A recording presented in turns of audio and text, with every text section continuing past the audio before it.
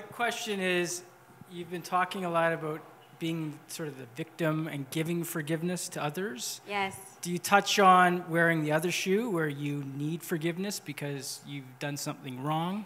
Because Yes. we wear, we wear both shoes in life, in my view, right? Absolutely. Yeah. So in the book, I talk about these characters. Um, I talk about a dream that I had and the characters that showed up in the dream, and and the reasons why we have to forgive them. But the other thing I talk about is the fact that we're all different, all those characters at different points in our lives.